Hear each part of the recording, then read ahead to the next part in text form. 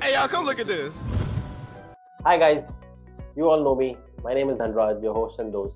Welcome back to another episode of Inso Mixer. So today we are going to talk about Fediverse. Have you ever heard about Fediverse? Picture a digital party where privacy is VIP and diversity is the main show, right? A network of completed worlds. Why? Why care? Decentralized control, more privacy, and vibrant communities make you go, wow, I did not know that existed.